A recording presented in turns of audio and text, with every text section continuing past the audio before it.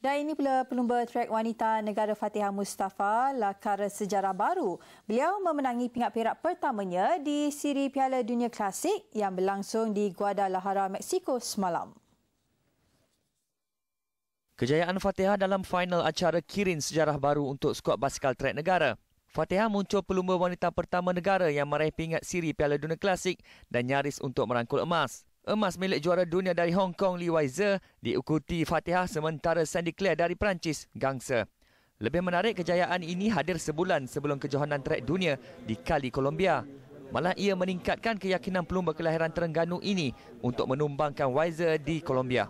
Tamat saingan di Mexico, Fatihah berada di ranking kedua dunia acara Kirin dengan 346 mata sementara ranking ke-16 dunia untuk pecut.